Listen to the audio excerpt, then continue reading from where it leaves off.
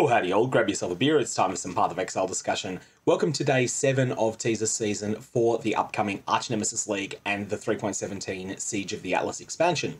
Uh, today, there's only one piece of information, and it is an interesting one. It's a divination card for a boss unique that has an interesting history. So, 3.11 Harvest League brought along a unique item called Forbidden Shako that was mostly seen as a rubbish item at the time. But not a total rubbish item, but an item that was just not really good as a boss unique, outclassed by rares, and really outclassed by rares. Uh, so this dropped from the capstone boss of the Harvest Encounter. Then 3.12 brought a replica version of it, and the replica was far, far, far better. So you had Forbidden Shako and you had Replica Forbidden Shako.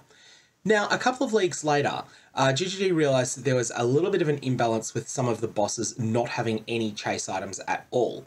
And so there were some changes to the loot table for Uber Atziri, and there were some changes to the loot table for the Harvest Boss. And so the Harvest Boss, Forbidden Shako's stats were changed to match the old stats of Replica Forbidden Shako from Heist. Replica Forbidden Shako was removed entirely. And so the old version of Forbidden Shako no longer dropped, but that was fine because no one really wanted it. So what does this item do? Uh, Forbidden Shako is a bit of a wildcard item. It has three mods on it. Firstly, it's got a bunch of attributes.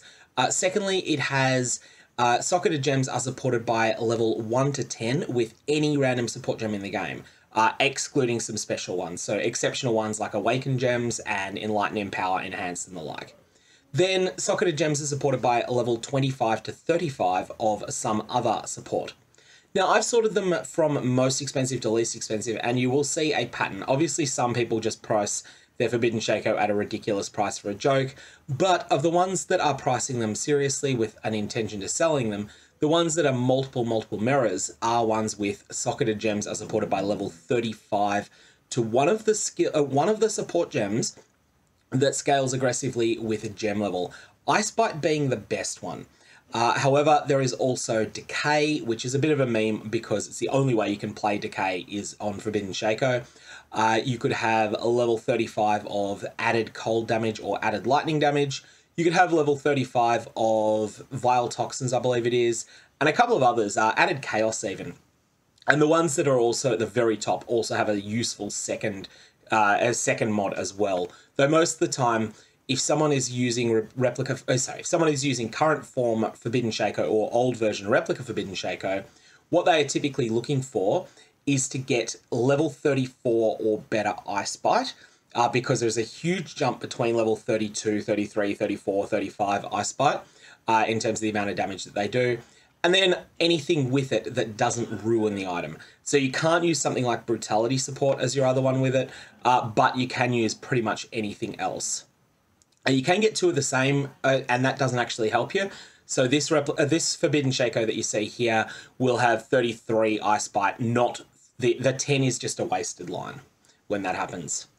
Anyway, that should give you a bit of a sense as to what is going to drop here. Judging voices from a thematic perspective, uh, this feels like thematically it could be tied to the simulacrum, uh, but that's not guaranteed. And a lot of the time, boss, like when a boss unique drops from a divination card, GG will make the decision as to where it drops based upon game balance rather than upon anything else.